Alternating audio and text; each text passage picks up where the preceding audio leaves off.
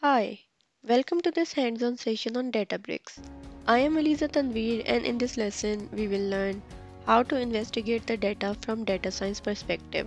Also, we will learn how to create a correlation matrix, how to normalize the data and how to prepare the data to use it for machine learning. By the end of the lesson, you will have learned how to create a correlation matrix to see how different columns correlate with each other.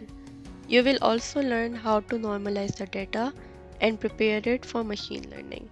And then at the end, you will write the data that you created back to the database. For this lesson, we will use a new dataset which is going to be a dataset for wine quality UCI.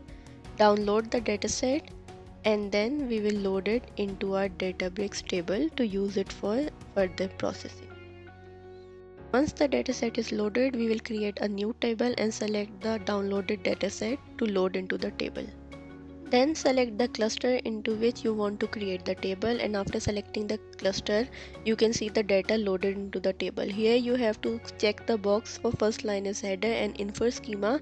The infer schema is going to automatically detect the data type of the columns according to the data present inside it. Then I am going to change the column names and click create table. And thus your table will be created with the dataset loaded inside it. For the next step, I will create a notebook, give a suitable name to your notebook and select Python as the default language. We will start by loading the data from our table which is wine quality into our data frame object and in this way once we execute the query the data will be loaded. Our next step is to create a correlation matrix and for that we are going to import two libraries, the correlation matrix and the vector assembler. The correlation matrix is usually used to define how two columns are related to each other.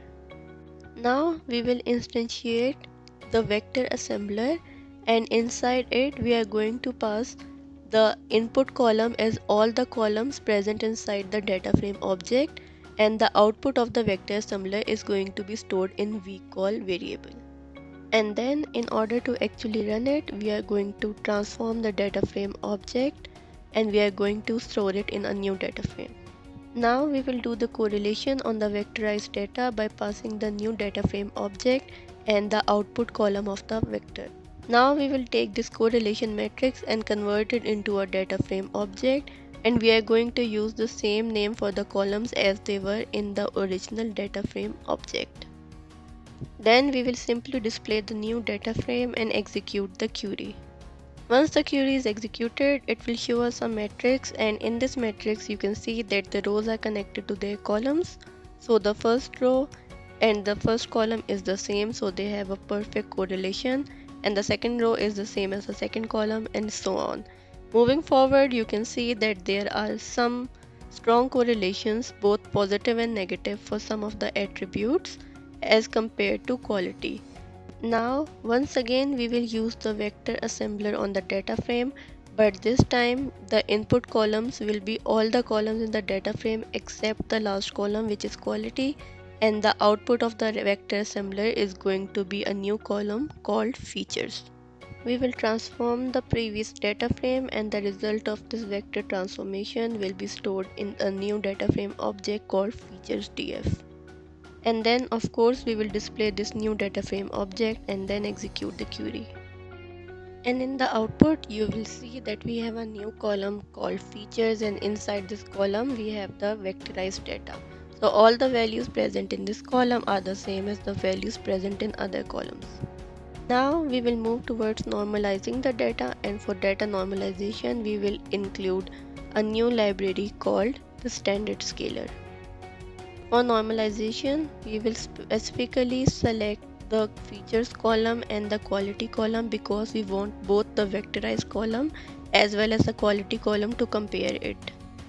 Now we will instantiate the standard scaler and inside it we are going to define features column as our input column and we are going to create a new column normalized to get the output.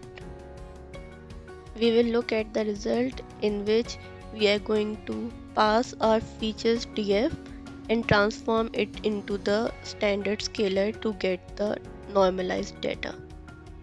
Here in the output you can see that we have the features column, we have the quality column and we have the normalized data. Now I will store this normalized result in a new data frame object to use it later on. After storing the normalized data into a data frame object, I am finally going to move it into a new table called normalized wine data. It is admissible that you should also store this data into a new table because this normalized data will be used in later videos too. You can view this new table by clicking on data and selecting the normalized wine data table. And inside the data you can see that we have three columns quality features and normalized and all the data present inside table. And this is all about normalization of data. This is all for this video. Thank you